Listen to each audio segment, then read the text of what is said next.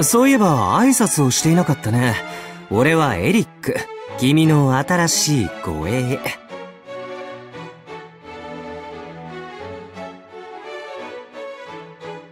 あれ、覚えてない？い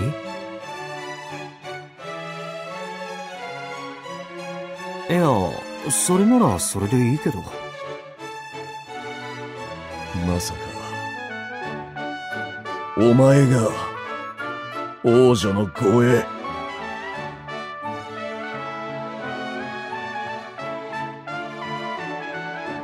おや？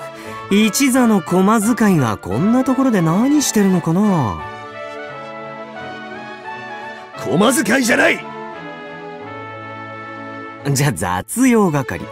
掃除係だとどちらでもない。俺は王子だ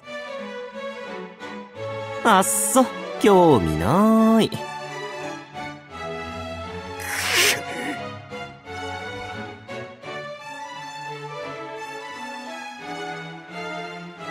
洗濯係くんのことはさておいて、こっちのアマデウスはどうしたのかな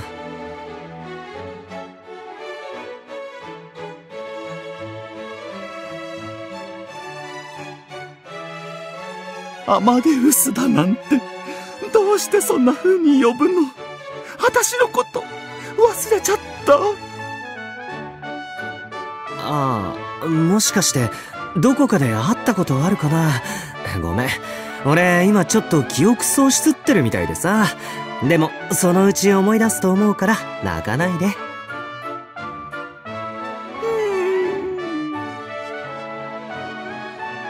泣かないでよ。